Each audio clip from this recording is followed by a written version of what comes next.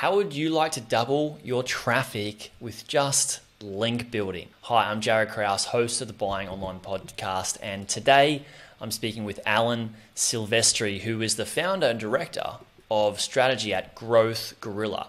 Now, Growth Gorilla is a no BS content promotion and distribution agency for B2B SaaS companies and some other big names and bloggers out there. Now, they help, help software companies that are already publishing quality content get the word out there to acquire backlinks and increase traffic and signups. Now, in this podcast episode, Alan and I specifically talk about what is a content distribution system and how it works, what it looks like, and what are the two ways that they use with their content distribution system to promote content. We talk about link building and how to choose which pages to do link building to, and there's four different buckets that Alan and the Growth Gorilla team use to choose from on which pages should be using link building to boost them up and promote their content. And then what are some of the key pages that may get you the best ROI from link building as well. We also talk, talk about different types of links and how to use these different metrics to determine the value of each link. We're talking about traffic, authority, we're talking about relevancy, and then we're talking about competitors and competition as well. So there's a lot to look at when you're doing link building. We also talk about how to do outreach in a non sleazy way. And then we move on to talking about repurposing content and how to choose which content to repurpose, how to repurpose it, where to post that, what type of posts you should be putting out there, and how often. Now, this is a jam packed valuable podcast episode in a short amount of time. Alan speaks fast. I ask a lot of questions quite fast. And this is something you may want to re listen to if you're looking to increase your traffic just by link building. I'm sure you're going to enjoy this. Let's dive in.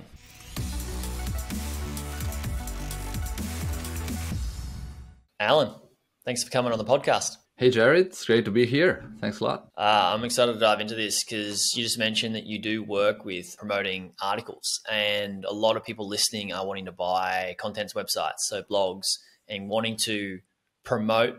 Well, most people are just on the hamster wheel of actually just creating more and more and more content. Uh, whereas less content but more quality and promotion can end up getting you a better result. Do you find that like when you work with people, you slow down their content production but put more emphasis on the promotion? Is that a thing? Mm-hmm. It's not really that we slow down the content production. If a company has the time, the resources to do everything, that's always great, right? Uh, we've seen uh, some diminishing returns once the production is way too fast compared to the promotion, right? So that's very important, and it's also why we uh, we always say like there's a lot of companies that have a content production and publishing team in place, uh, but not many companies have the content promotion team. So it's like everybody like keeps forgetting that that's the last piece of the puzzle, and you really need that. So by promotion, I'm talking specifically about backlinks, right? So what we do is we build backlinks, but in a way that is essentially promoting the content. So we try to spread the word out find the best possible uh, like placement for any type of content in a very strategic way as well. Because uh, at the end of the day like yeah if your content is just sitting from page two and lower it's basically not doing much for your business. So what we uh, try to do is to solve a situation that we call the content graveyard specifically uh, which happens for a lot of companies. Basically once you keep publishing content it looks like a linear staircase right so you publish two articles one month, two articles the next month, and so on. So it keeps going like that. It's always like predictable staircase. The problem with content promotion is that it's more of an exponential scale.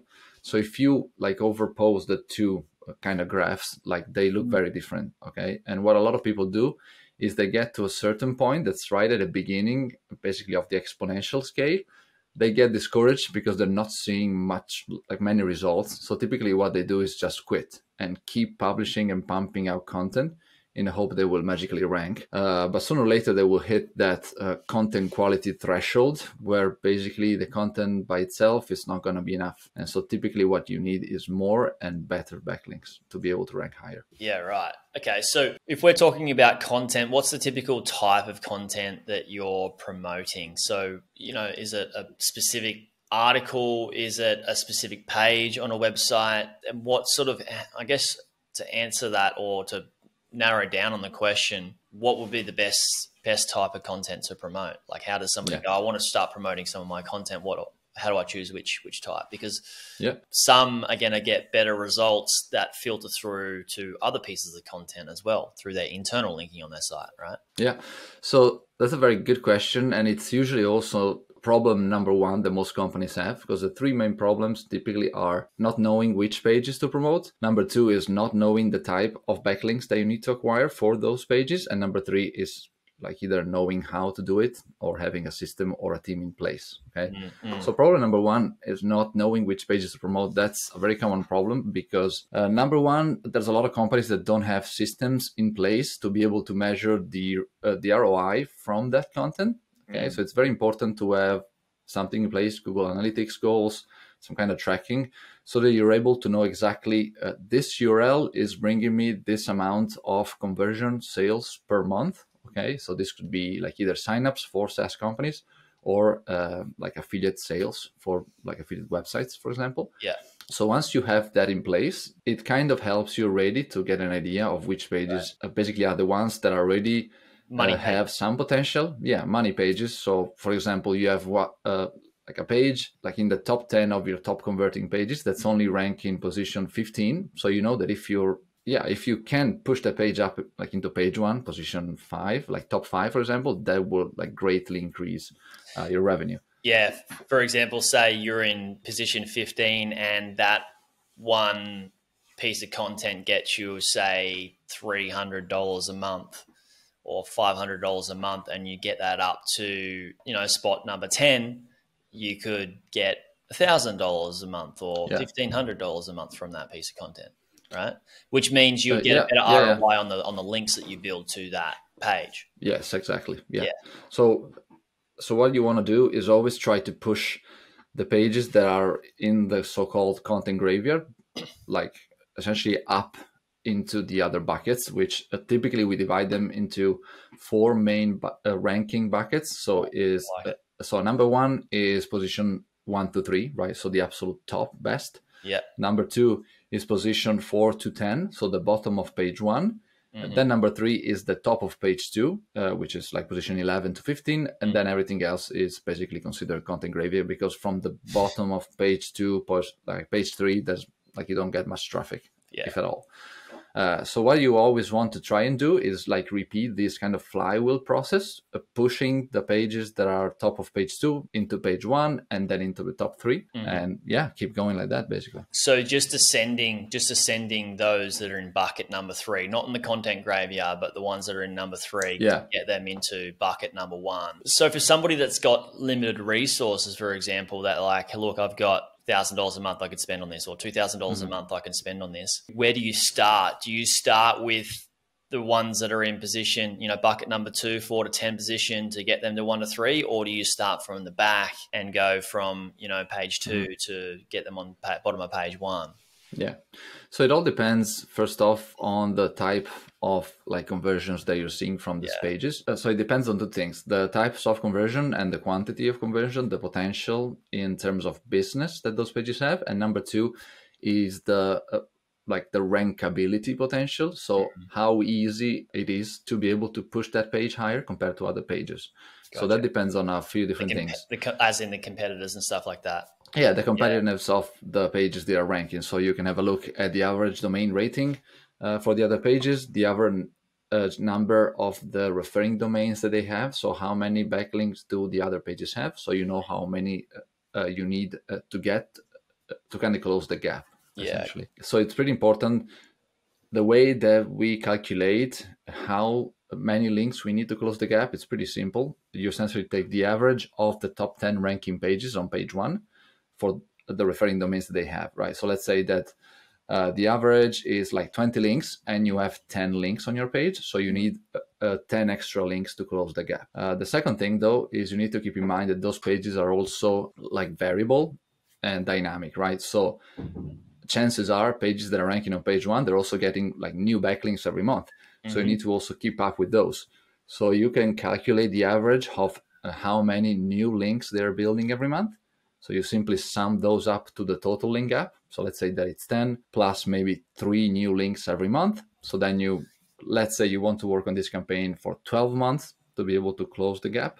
So we need to do the three new links every month multiplied by the 12 month plus the 10 uh, total to close the gap. And that gives you how many links per month you need to essentially uh, build every month. Gotcha, gotcha. And I guess something is variable is like not every one link has the same value yep. as well. For example, you know, you work out maybe a site needs 10 links every month, but if they got better links than all of the other ones, they could outrank, you know, a competitor. Yeah. For a certain position for that keyword, right? Yeah, that's yeah, that's definitely true. Uh, what we try to do is we always like we still calculate this link gap based on like an arbitrary number that we see based on the data. Problem number two, if you remember, is not is like a lot of people don't know the type of links that they need. So that's the second thing that you should do. Once you know how many, then you should know what type of links you need. To okay. be able to see that, it's it's basically very similar. So you kind of like reverse engineer what the other guys are doing. Mm-hmm. So for example, let's say that the top 10 ranking pages have uh, 20 links uh, like each, but then you can dive deeper into the data and see, for example, the majority of those links are links that are in the bucket domain rating 50 to 70. So that's the best possible types of links that you should prioritize. Mm-hmm. Then you can do the exact same thing with the uh, URL rating, so the strength of the specific page. Uh, you can do the same with the traffic for the backlinks that they have. So you can like basically use like all of these data to be able to specifically target the best possible type of links that the other pages have. Mm. Uh, then the last piece of the puzzle, essentially, once you have all of the metrics in terms of like uh, link juice, let's say, is uh, topical relevance. So topical relevance is the topic uh, that the pages that are linking to the competition are talking about. So you can use those to find similar pages, right, covering yeah. similar topics. Yeah. And the last thing is the anchor text. Uh, so uh, most of the times you probably won't have control over the anchor text, uh, yeah, unless you're doing guest posting, which means that you like are controlling the anchor text yeah. for the backlinks. Yeah. Uh, but that said, in the situation where you do have some control, you can try to shoot for uh, like the average kind of numbers that the other guys are doing. So we divide the anchor text into four main buckets. Uh, number one is exact match, so that's the exact keyword. Number two is partial, mm-hmm. that's a keyword that contains some of the word from the exact. And then we have other, which is anything else like brand term or click here, see this. And then we have a, a URL anchor text, so like the naked URL. Yeah. Okay. So there's there's well, man. There's so much in that. I just want to like sort of come back and break yeah. that down for people. So basically, yeah, Sorry. Yeah, you kind of tend to nerd out once I start talking about this stuff. No, it's good. I'm I'm, I'm following. I'm tracking tracking quite well. So the type of backlinks is sort of determined by a few factors, which are you know the metrics, topical relevancy, anchor text, um, exact match. You know, similar mm-hmm. um, or yeah. you know, phrase. Uh, so that's how you decide the type of so you look at the links that the competitors uh, have to their sites mm-hmm. and work out how you can get metrics that are similar, if not slightly better or massively yeah. better, but on the same you on the same path, like the same topical relevancy with the similar type of metrics and similar, if not better, anchor texts. Is that right? Yeah. Mm-hmm. yeah. Basically, yeah. It's, so it's actually three parts, right? To recap everything, it's how many links you need and how fast right? Yeah. So, for example, five links per month.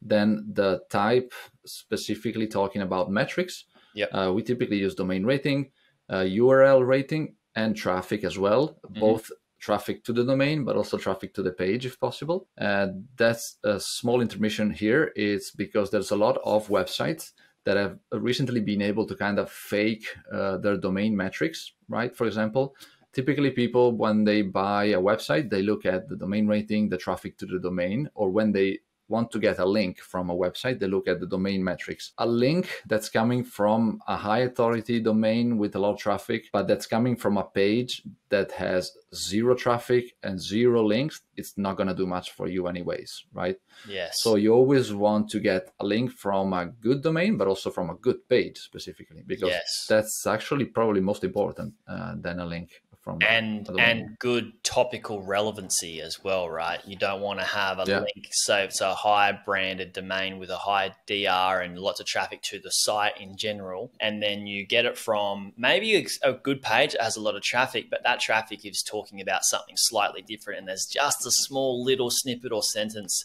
in it that Yeah. you, they could squeeze in an anchor text that just to make it work so they could sell a link, Mhm. right? Yeah, definitely. That's not very good. And also, most sites, like as it's pretty uh, kind of easy by now to spot the so-called link farms because these are sites that have been built with the main purpose of just selling backlinks.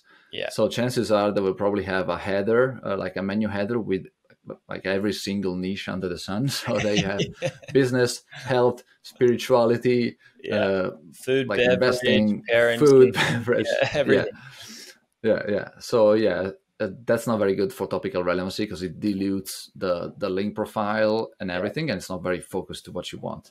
So you want the right quantity with possibly the right velocity of links to keep up with the competition. Then you want the right metrics to the domain and to the page and then the, the right topical relevancy as well. Yeah, I've also seen that um, there can be pages because a link you'll be able to sell a link for more if you're linking from the homepage of a site. And so I've seen sites that just have the whole blog posts as homepage, and each blog post is like only on the homepage, and it's just got a bunch of different random blog posts about every single topic under the sun as well.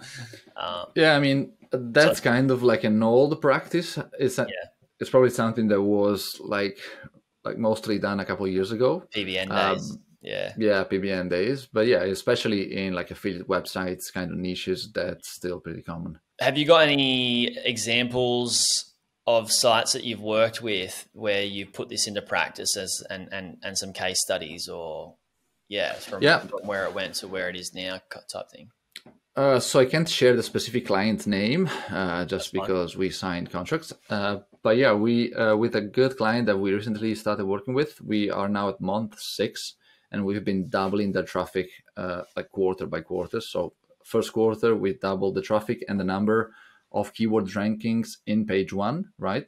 And second quarter we essentially repeated the same thing. The main reason why I think this has been working as well, uh, because number one, the client uh, they have a very good brand, right? So they're well known in the industry. Mm. Uh, this in turn kind of allow us as well to uh, do a better job at acquiring backlinks, simply Yeah. because we can reach out and we're like, uh, because we typically reach out from the client uh, like brand, right? And they've got a brand. we are yeah, got ya. yeah so they have a good brand good really good quality content as well so those are the three most important things the good brand the good content and then the promotion that needs to be done right Awesome. uh, so when so when we reach out to someone also it's it's important to mention that we don't like literally pitch for a link we essentially try to like promote right so so how do you promote? You, reach out to people that you think could be a good fit for that resource or that specific page. You tell them why you think they should have a look at your content and that's basically that's it. Like you leave it kind of up to them right? So you can be like i've loved some feedback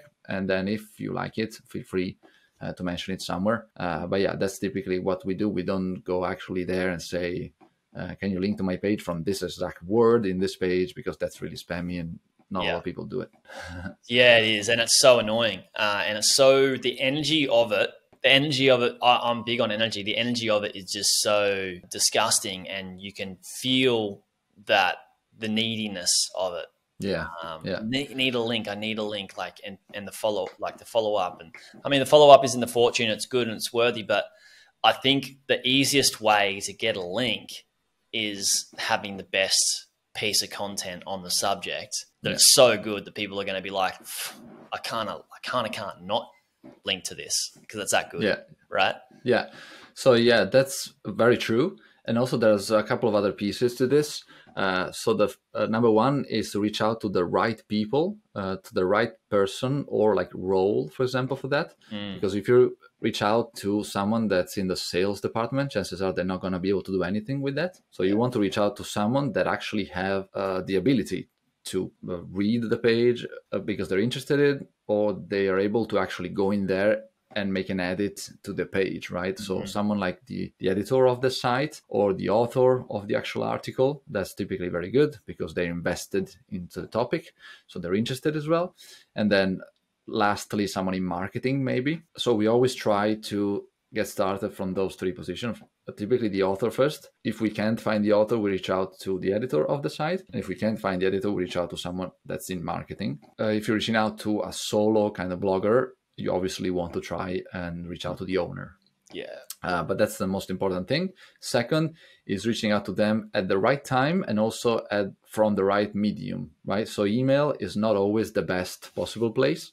Some people don't really check emails or they are so used to being spammed by link builders that they yeah basically they have a, like a mental filter so as soon yes. as they see like an email that looks vaguely like a link building email.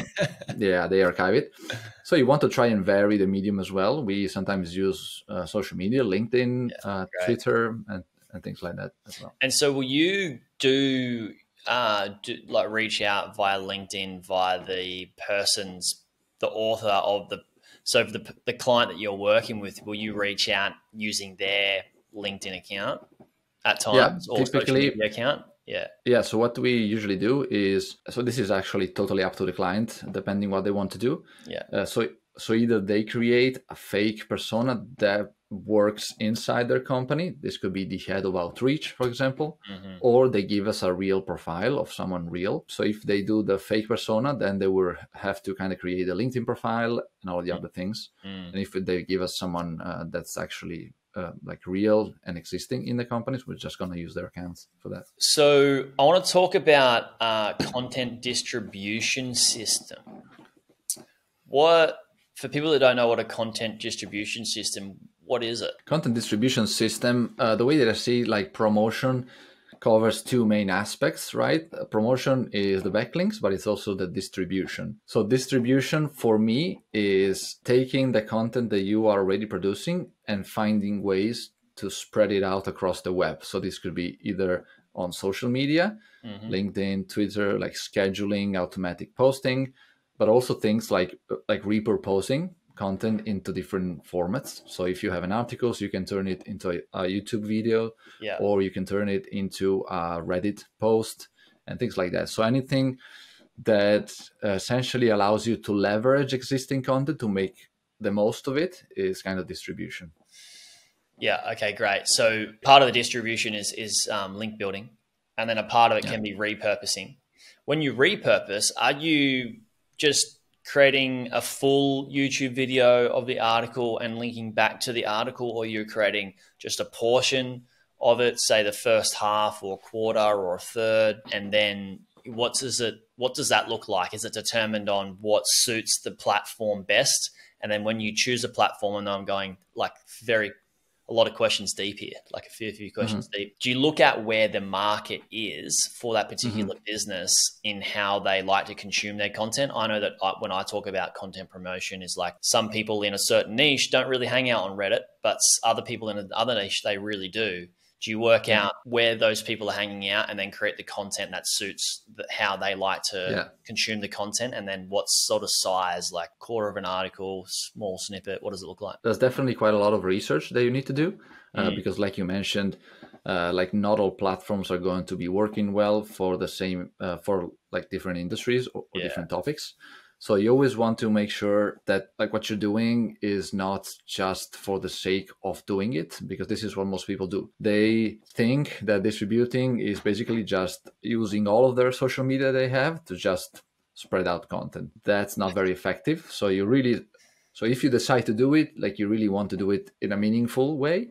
More otherwise, way as well, right? Yeah, more focused way. because two of the best platforms. Yeah. Because basically, like if you want to have more like ROI from this process, you need to do it in this focused way. So yeah, mm. like you mentioned, we do research. We the the easiest way to do this is to type the main keyword that you're targeting into Google or YouTube, depending on what you're trying to do. Uh, for example, into Facebook as well, if you're trying to mm. post on a Facebook page or LinkedIn. So uh, give it a try, uh, type the main target keyword, see what you get. And then based on that, you can decide, for example, if uh, if I type the main keyword, which might be a broad topic, but I only get short posts or short videos that have like been proven to be doing well, then I know that it doesn't make sense for me to repurpose the whole article into a giant long video, but it, it might be better to just do short snippets of the specific sections or sub paragraph uh, yeah, for the because, articles. Because success leaves clues, right? Like what's yeah. winning, um, what type of content is winning on that platform. You don't need to recreate the wheel. Just do what's yeah, working for others. Yeah, I strongly believe that. I mean, we're in a world that's kind of controlled by algorithms, and so the easiest way to see what an algorithm wants is is to just see what kind of results they're providing you with. Yeah. Uh, so it's basically hidden in plain sight. It's just a matter of of being able to take the data and use it uh, to your advantage. I know this is going to be a tough one to answer because every business is going to need a different sort of approach. But if somebody's got a budget of you know thousand dollars, two thousand, up to three or five thousand uh, dollars per month, wanting to promote their content, typically. And this is going to be an average because we don't have an example there, unless you have mm-hmm. two different types of examples you'd like to give. What sort of splits in resources would you put towards repurposing versus uh, link building? It's a very good question. I would say it depends on what you're seeing for your industry. Mm-hmm. Uh, what are the other guys doing? Are they doing more uh, on in terms of social, or are they being super aggressively building links? Yeah. Uh, once you've seen that, and also depending on the yeah the competitiveness of the keywords that you're trying to rank, you know whether you should double down more uh, like on the links. If, for example, you uh, do the analysis that we talked about before and you see that you need 50 links per month then you know that you should like spend 90% of your time there because that's a lot of links that you need. Yeah. so you don't have a lot of other time and resources for everything else. But it also depends on the revenue potential right? Yeah. So if you do so if for example you see that by just doing a couple of like youtube videos uh, you can get uh, like referral traffic directly to the site, that might be faster than just spending six months to try and rank a page. Mm-hmm. Uh, so yeah, that might be a better uh, like thing to do in that situation. Like if you know that some other people are having uh, good results with that. Yeah, so it comes back to success leaving clues, seeing yeah. what's working well, and don't reinvent the wheel.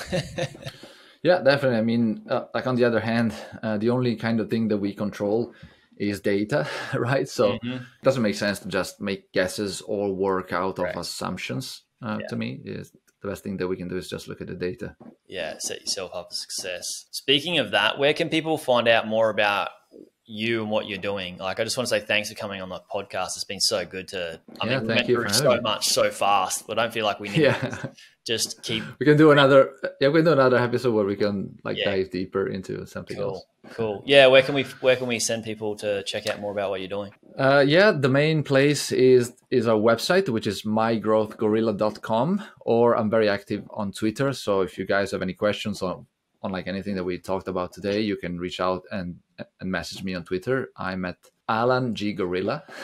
Yeah. Uh, got, so yeah, you can find me there. I got links to, to both of those guys in the show notes for you. Alan, thanks so much for coming on. Everybody that is listening, thank you so much for listening. If you own a blog or are about to own a blog, do yourself a favor, save this episode and re-watch it, re-listen to it again because we went through a lot and I want you to re-listen to it right at the time that you've just bought your first business so you can implement some of these strategies. And if you know somebody that's either owns a site or is about to own a site, do them a massive favor, share this podcast episode with them. Selfishly, yes, it helps Alan and myself help more people through what we've talked about here, but also helps grow the podcast to help us help more people buy great businesses. So thanks, guys. Hey, YouTube watcher, if you thought that video was good, you should check out this video here on the two best types of websites beginners should buy. Or check out my playlist on how I made my first 100K from buying websites and how to do due diligence. Check it out. It's an awesome playlist. You'll enjoy it.